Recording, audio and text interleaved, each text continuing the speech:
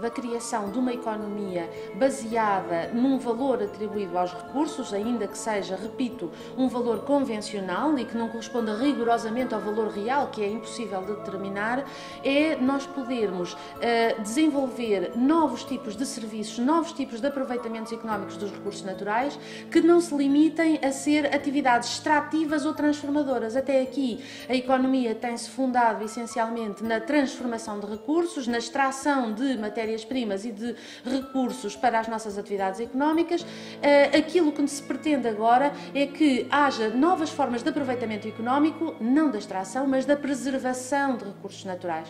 Se eu ganhar por preservar um ecossistema, se eu tiver vantagens económicas nisso, surge aqui uma nova economia, uma economia verde, em que quem preserva tem alguma compensação e alguma vantagem económica, em benefício de todos também.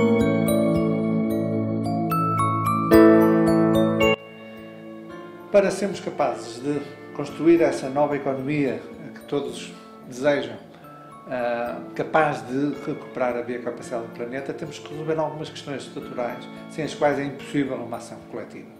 O primeiro dos problemas é, é o, o facto de todos os encargos e todos os benefícios que nós fazemos nos sistemas naturais comuns se dispersarem por todo, por todo o planeta. Isto é, eu quando tenho uma floresta ou tenho, recupero um ecossistema, eu estou a gerar uh, benefícios que toda a, a, humanidade vai usufruir deles.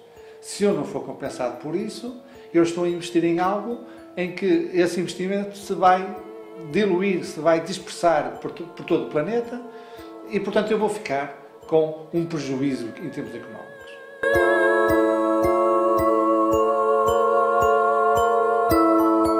Portanto, sem a construção de um sistema de contabilidade sobre os encargos e os benefícios que todos nós realizamos nos sistemas naturais, e esta contabilidade está articulada com um sistema de custos e compensações, nunca vamos ser capazes de recuperar os sistemas naturais de que todos dependemos. Não estamos a falar de comprar e vender natureza no mercado, nem num sistema especulativo, mas estamos antes a falar da construção de um sistema de acertos de contas e compensações entre todos, que permita que as relações humanas globais possam ser mais justas e inclusivas. Se não podemos gerir a natureza, podemos, no entanto, gerir o uso que fazemos dela. E isso só é possível se formos capazes de medir e capturar estes benefícios e estes encargos.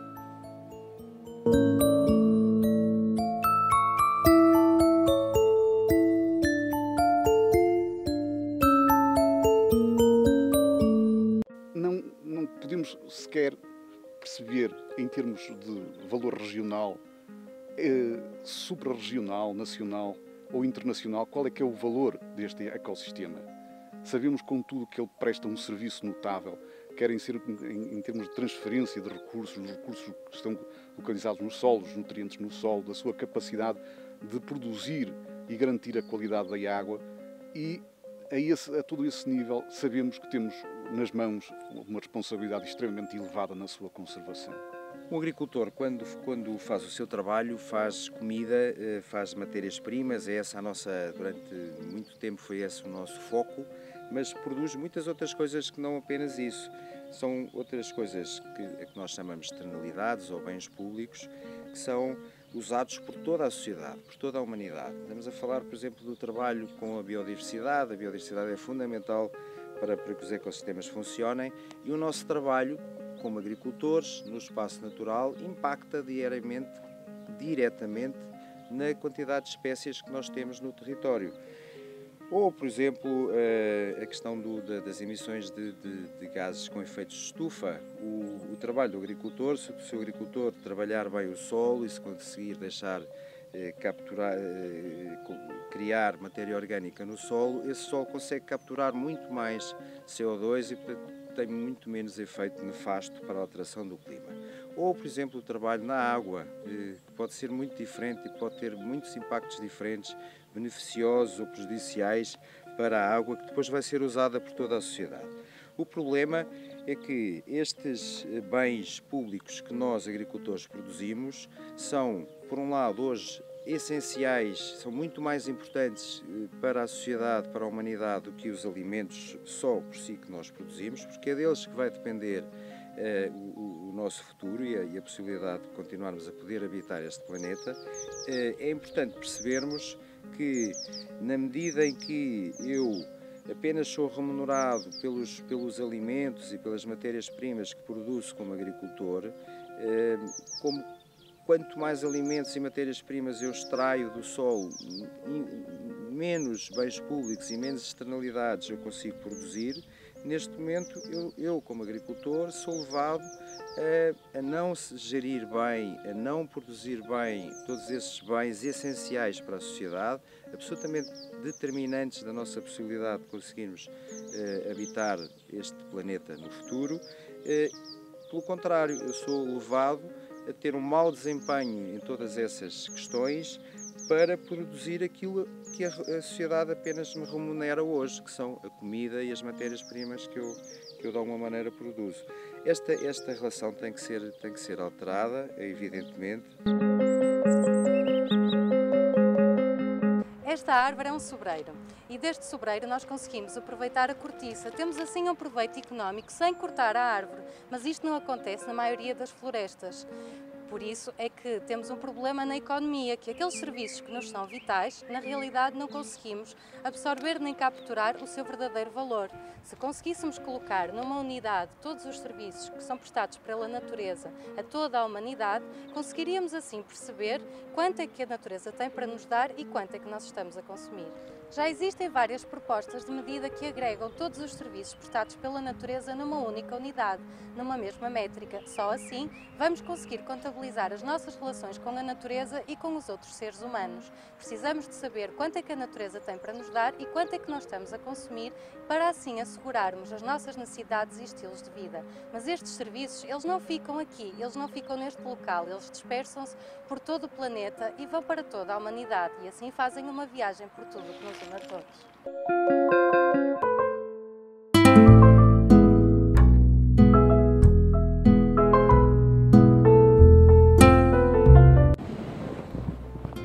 Em espaços de montanha, os serviços de ecossistemas podem ser de vários tipos, de provisão, regulação, culturais e todos eles dependem uns dos outros e fornecem um estado de equilíbrio, um estado de resiliência que são fundamentais para os grandes sistemas globais como o clima ou a provisão de água.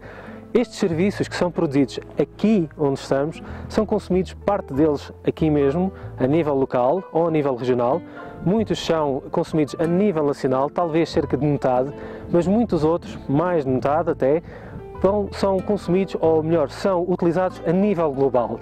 E esse nível global dá-nos um excedente, ou seja, podemos dizer que zonas de montanha, como a Serra da Estrela e o Vale Glaciar, emitem serviços de ecossistemas para um bem comum em forma de excedente e esse excedente, de alguma forma, pode compensar escassez noutros pontos do planeta, noutros pontos do país. E é esse equilíbrio entre o excedente e a escassez que vai formar um saldo, um acerto de contas e, de facto, uma verdadeira justiça ambiental global.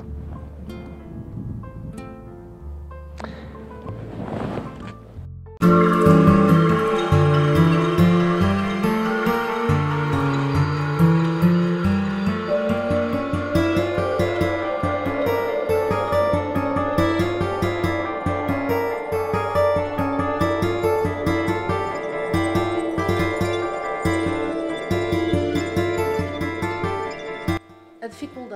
dificuldade reside uh, no cálculo do valor uh, a pagar pela utilização dos recursos. Uh, há muitas formas de cálculo possíveis, todas elas nos levam, se tentarmos ser rigorosos, a valores extremamente elevados, valores insustentáveis e que não poderiam servir de suporte a uma métrica mundial relacionando Estados desenvolvidos, Estados em vias de desenvolvimento, mas o que é importante de todos esses estudos é reter a ideia de que deve haver um valor, um valor que tem que ser diferente de zero, eh, porque nós não podemos continuar a permitir aquilo que se tem vindo a verificar até aqui e que é a existência de recursos naturais que prestam serviços globais, serviços planetários, dos quais todos nós beneficiamos e que não são compensados eh, na sua utilização por parte de quem os aproveita e se apropria deles individualmente para proveito próprio.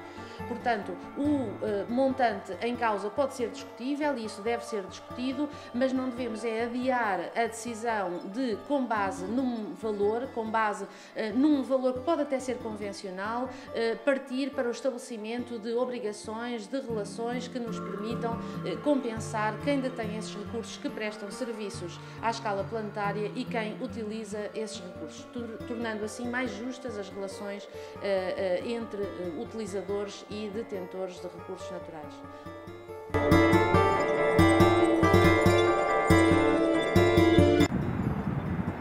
Desde que acordei, já consumi muitos recursos ambientais, muitos deles associados ao recurso água.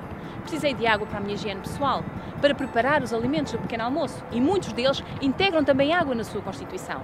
Também pré-preparei o jantar e aí, que será peixe, também fui buscar recursos ao ambiente. E todos esses recursos, obviamente, que eu estou a consumir, deixam depois um rasto, deixam um encargo que fica para todo o mundo.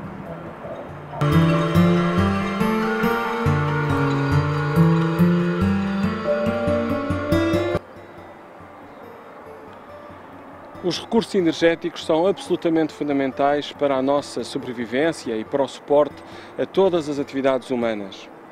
Porém, o uso de combustíveis fósseis como o carvão, o petróleo, o gás natural tem enormes impactos, seja em poluentes atmosféricos à escala local, seja nas emissões de dióxido de carbono que causam o aquecimento global e as alterações climáticas desde os transportes à produção de eletricidade, estamos assim muito dependentes destes recursos que têm enormes impactos negativos no ambiente. Podemos assim estar a contribuir para o futuro das próximas gerações estar mais ameaçado.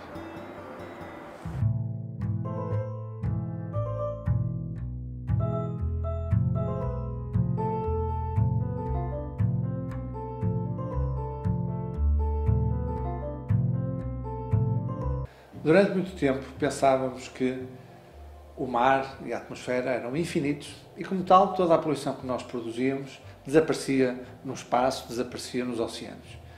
Uh, e por isso mesmo, uh, a própria economia considerava estes fatores da poluição como externalidades uh, ao nosso sistema económico. Viemos descobrir que essas alterações químicas que todos nós realizamos na atmosfera e nos oceanos eh, não nos são externas, essas externalidades negativas eh, acumulam-se eh, ao longo do tempo, por várias gerações, da mesma forma que todos os benefícios que os ecossistemas produzem, quer nos oceanos, quer na atmosfera, isto é, os, aquilo que se chama também externalidades positivas realizadas pelos ecossistemas, também elas se acumulam. E, portanto, nem as externalidades negativas, nem as externalidades positivas são, na realidade, externalidades, são fatores vitais para a nossa vida eh, e que, quer uns, quer outros, devem ser incluídos nas nossas contas.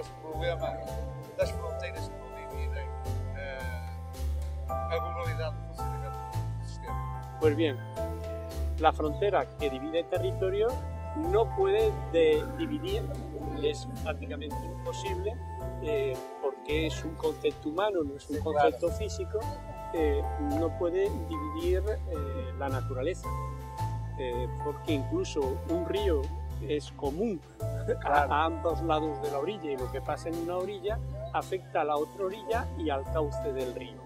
Pues esto lo trasladamos a naturales en su globalidad y vemos que la frontera no permite resolver los problemas que afectan al medio ambiente. Son problemas que superan las fronteras y entonces el hombre debe buscar una solución, los hombres, una solución, un concepto, primero, un concepto que le permita una solución a este problema que es un problema humano.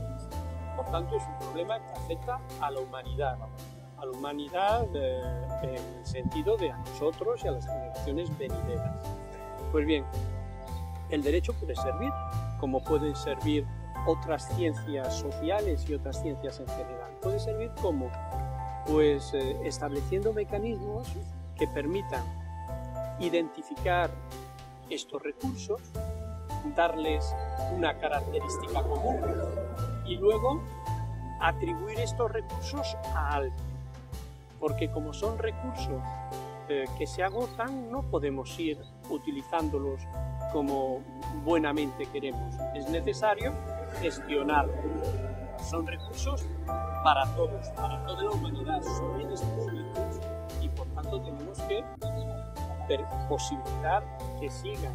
Debemos posibilitar su perennidad, que continúen siendo y existiendo.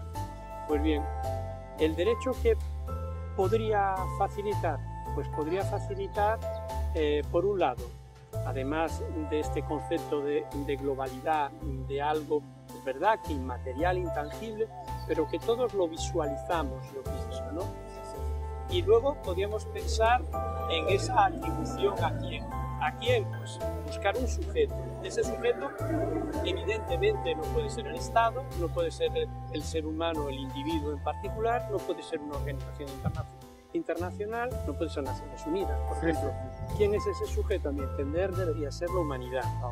La humanidad eh, es un sujeto de derecho hoy en día en determinados ámbitos y podría serlo también en el ámbito medioambiental. Então, então aqui estamos a falar dessa natureza de sistema. Isso é? é. A novidade, digamos, da sua proposta é precisamente essa, de considerar o sistema natural, neste caso o sistema como um sistema, como um sistema, como um sistema, como um património.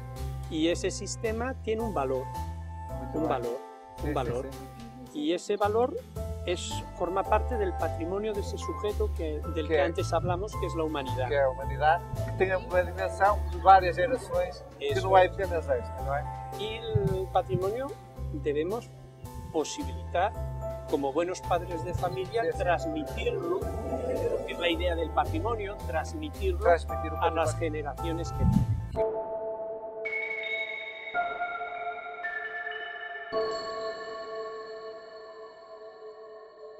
Só confrontando o que cada um faz de positivo e negativo será possível chegar a um saldo. Um saldo que nos permita fazer uma gestão justa e equilibrada dos sistemas comuns a toda a humanidade. Só com este saldo é que poderemos perceber os diferentes contributos de cada um para a manutenção dos sistemas comuns. E essa é a base da justiça que nos pode permitir a obtenção de um acordo. Só a justiça nos pode trazer um consenso. Depois de termos descoberto estes sistemas globais, compete-nos a nós, sociedades humanas, construir conceitos que permitam capturar esta realidade natural nos nossos, na nossa organização.